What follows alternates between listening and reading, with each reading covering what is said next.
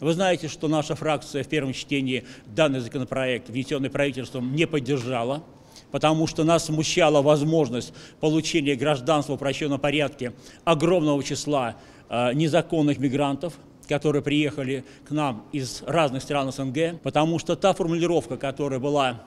в статьях этого законопроекта, где говорилось о границах